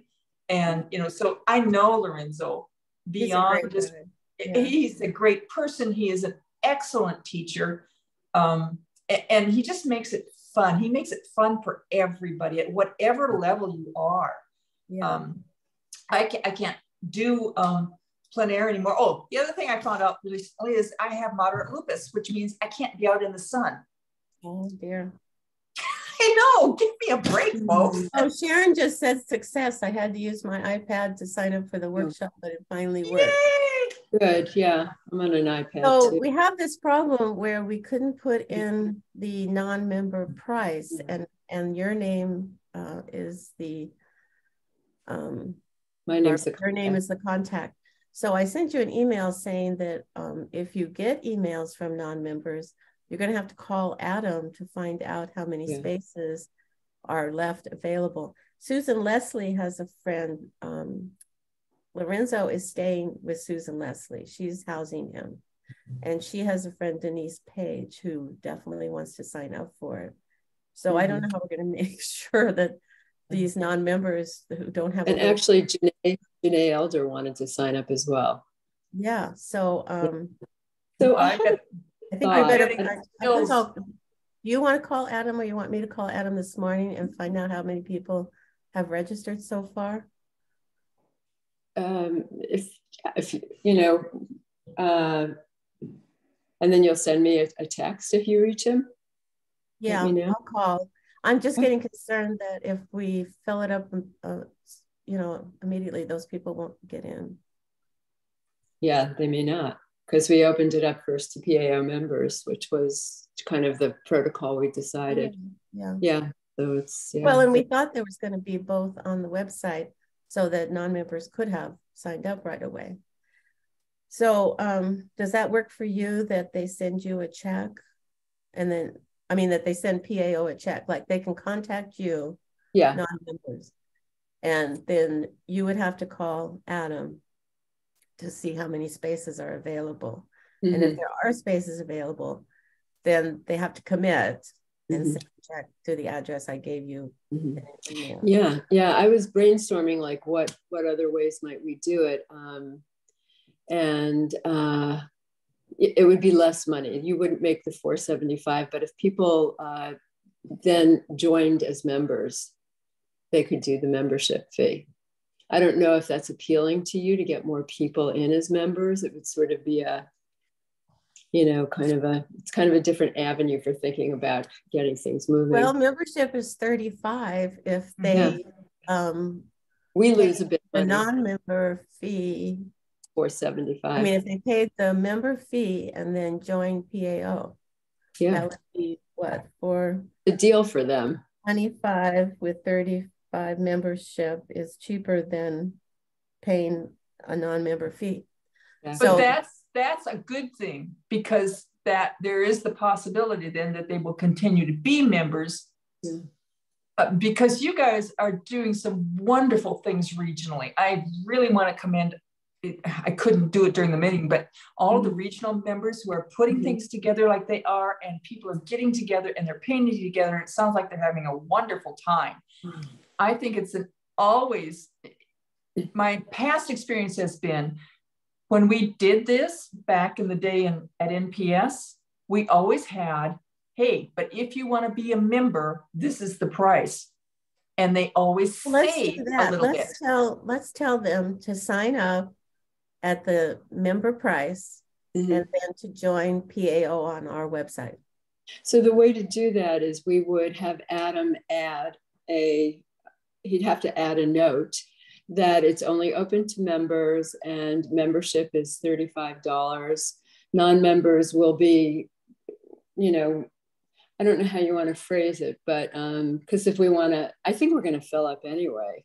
I think well, you're going to fill up really up. fast. If you have, if you have Jenay and Leslie has um, Denise. Denise. Yeah. I think we just make a personal call to Jenay, tell her to go ahead and sign up as a member. Yeah. And to go to the um, PAO website and join. Okay. Okay. And, and the other she's still getting in cheaper than if she had to yeah. I did that when I traveled to Connecticut once. Um, it is cheaper when you do and that. I'm going to tell Suzanne Leslie to do that with um, with her friend. With her friend. Yeah, and Denise is an excellent painter, a Denise really good painter. She's a she's a pastelist, so yeah, why not? it's cheaper than a non-member price. yeah. And yeah. I think it's going to fill up, so we won't have a lot of issue. But if people call you or people contact you, you can tell them to do that. Okay, so we won't have it on the website as on Adam's website. I think that sounds confusing. What do you think? I don't think it's necessary at this point. I think it's going to feel so quickly. I think so. That it's it's a moot problem. Yeah, that's the way it's looking. Mm-hmm. Yeah. Yeah. Okay. All right. Good job, you guys. Is Denise Page a member? I don't think is no, she. She's a, she's a member of NPS. I don't know. And and California and, and West Coast. to check the roster. I don't know if she's. I don't think she is a member of PAO. I would have to check the roster. No, Adam may not be in today. I'm trying to remember the last email. I contacted him yesterday. Yeah, I think he may not. Somebody told me they called um, Central Art Supply and they didn't know anything about it. That's typical. You know, somebody doesn't know what the right hand's doing. not all in, but um, it's funny that they wouldn't say, "Let me just look on the website." you know, that would have been the smart thing. I know. Yeah. Okay, I'm going to respond to Suzanne now. And why don't you call Jenay and give her that information? Because I think it's probably filling up. Okay, and uh, if we can't reach Adam, um, well, he did stop it at 15, didn't he? Yep. Okay, well. So we'll yeah. find out. Say la vie. I'm glad I signed up this morning. You know, Willow knows. I'm going to contact her because she she was. I very, told her. I told oh, her this morning. And oh, and by the way, you're you're going to be like the 16th person, Barbara. Uh, yeah, that's what I was imagining. Oh. yeah, she's the coordinator. Yeah, I'm going to assist and help in whatever way I can. She's the coordinator, so we're making her the 16th. Oh, that's good. That's good. Yeah, then I don't interfere with uh, another body and wanting to be in yeah. there. Okay. Um, All right. Yeah. Well, it's not as slow a field is going to be filled up with 15 people being plein air you know, a 16th person with their easel there is, you know, yeah. Okay, I'm going to leave and say thank you. And um, you guys are doing a good job. Well done. Thanks again. Yeah, good luck, Peggy. Happy New Year. Thank Bye, ladies. Bye. Bye.